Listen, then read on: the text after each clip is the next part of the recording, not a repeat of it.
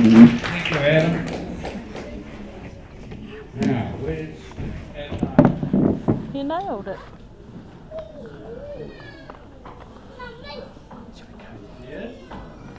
And I can play for you a jazz number. Let's go. And